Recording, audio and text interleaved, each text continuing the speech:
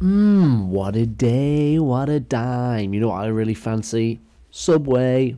After this shit, dog, you ain't gonna fancy no Subway shit again, man. What the fuck is this, bruh?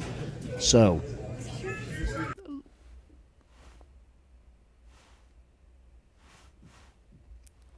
Look at the size of the man's toes on the kitchen table while he's counting out pieces of fucking ham. I mean, look, I've had a few subways. I'm, I don't mind them, I have to admit, but what in the fucking good lord is that shit?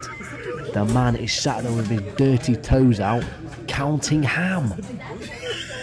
Like, how could you still order from there? What the?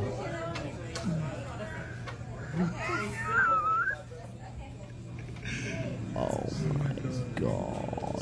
I mean, I can't believe, like, you must be mentally just not all there in order to think that this is just like a normal. Imagine walking in and you saw someone doing that.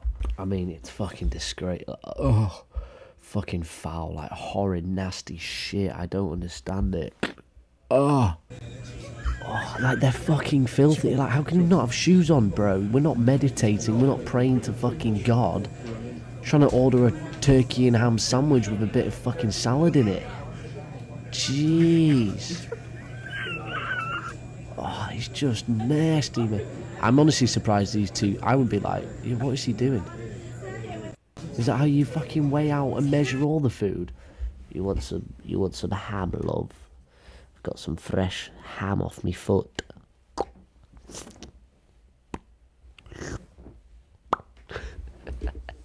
Fuck you, Subway.